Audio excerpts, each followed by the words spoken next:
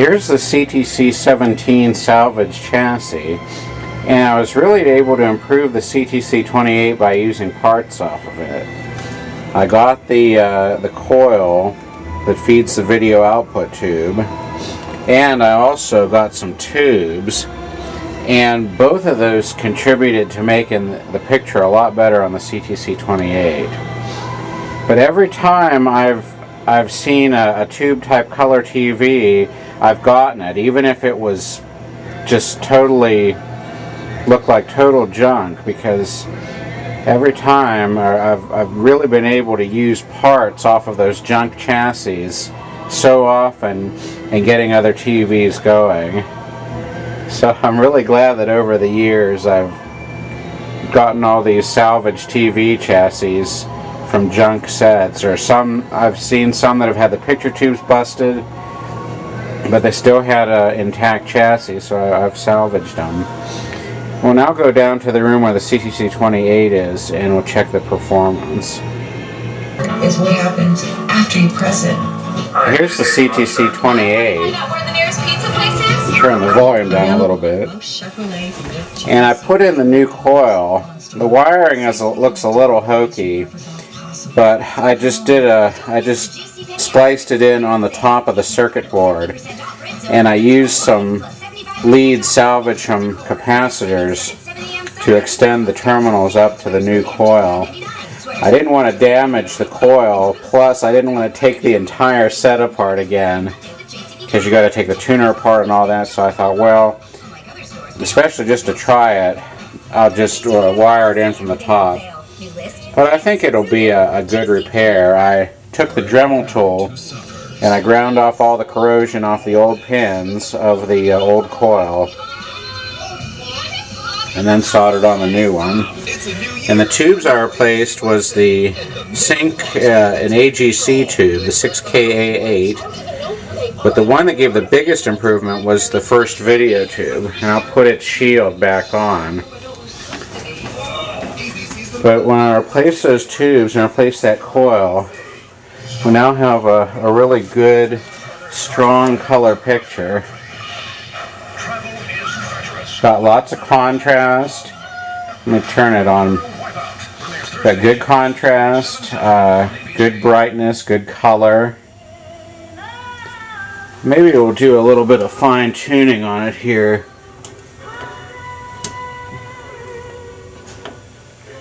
It still could use some some convergence set up on it.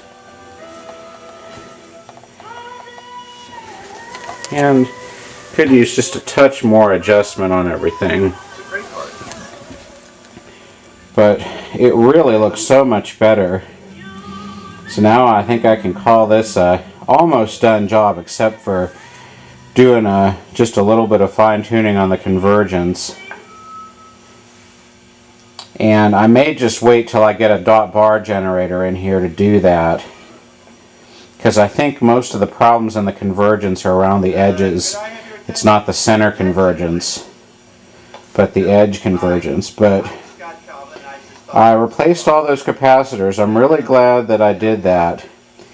And uh, because I've got good vertical now, the picture fills the screen, and that's what the Sylvania is going to need. I think it's going to need some new caps to get the...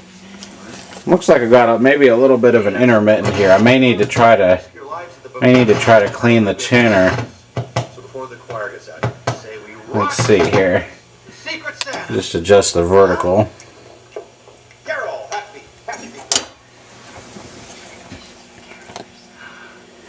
She's afraid that these are just decorations for the caroling. I think Carol is right about the caroling. I'm talking about the, the packages that are backstage. There, there aren't any packages backstage. Oh, there's none back there. So I was mistaken when I saw this bag of gifts. Maybe I'm wrong, but sure looks like a bag of gifts.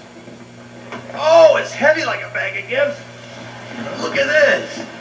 What's in here? It, wait, this is big. Oh, it's very heavy. Very heavy. John Pierce. Doesn't your mom call you JJ?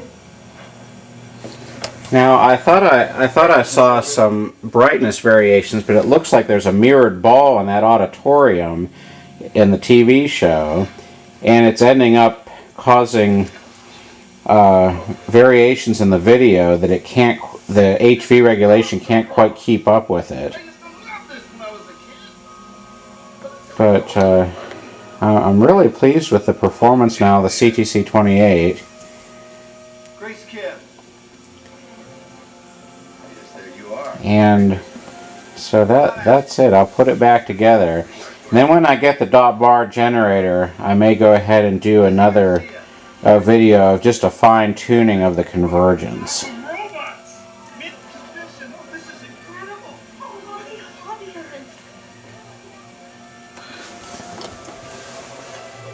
Come on up and rest your presents. Marie! Here. Pete! Here! Here! Corey! Corey?